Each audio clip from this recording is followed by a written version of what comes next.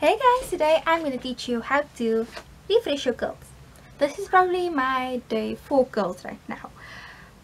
Yeah, day 3. Day, day 3 or day 4, one of the two. So, like you see this front very, very frizzy strand of mine? You take a strand, you take your water bottle, and you spray it nicely. Then pull down the curl. You just like run your fingers very lightly. And then you scrunch. You can also finger twirl it while it's wet like so. You see how cute they come out? And then scrunch it. And that's how you define curls.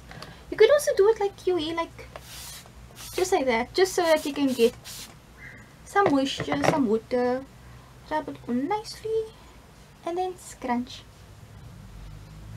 And the other side as well.